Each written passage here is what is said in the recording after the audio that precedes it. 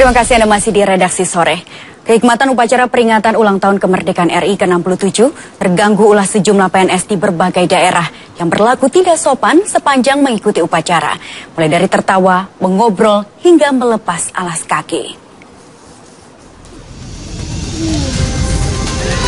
Beginilah ulah sebagian PNS yang bersikap tidak pantas ketika mengikuti upacara peringatan Hari Kemerdekaan RI ke-67. Bukannya saling menghormati peserta upacara, mereka malah menertawakan beberapa pekerja bangunan Menara Masjid Jami yang ikut berdiri dan melakukan penghormatan dari puncak menara ketika sangsa kamera putih dikibarkan. Sikap hormat para pekerja bangunan itu malah menjadi sumber tertawaan sejumlah PNS. Tak hanya itu, beberapa PNS lainnya malah terlihat asik memainkan telepon genggam di tengah upacara. Sementara itu, pelaksanaan upacara bendera peringatan kemerdekaan Republik Indonesia ke-67 di Polewali Mandar, Sulawesi Barat diwarnai ulah tak hormat dari para PNS yang memilih untuk melepaskan sepatu mereka ketika pengibaran bendera berlangsung.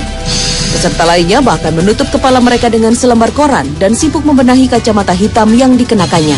Di barisan belakang, para abdi negara ini malah sibuk mengobrol dengan peserta lainnya. Padahal di sudut lain lapangan, sejumlah masyarakat malah tampak serius memberikan penghormatan kepada sang putih yang sedang dikibarkan.